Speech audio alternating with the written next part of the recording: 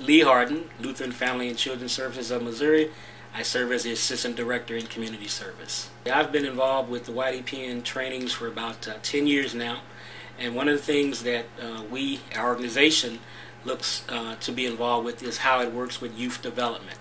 On a uh, personal note, uh, it has helped me to understand youth better, and so part of that whole experience has enhanced me uh, professionally and personally. Because one of the things that we've learned is on a term called adultism. Initially, I didn't know what that term meant, but through the YDPN meetings, I've understand that that term means that sometimes adults don't involve youth in programming that's designed for them.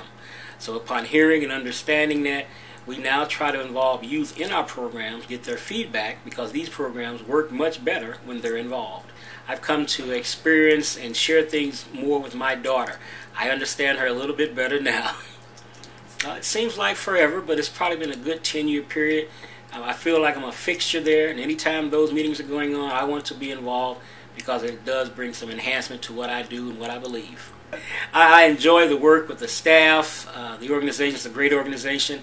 I would highly recommend it to anyone who wants to have more work done with youth development to send their workers, uh, and I highly recommend it.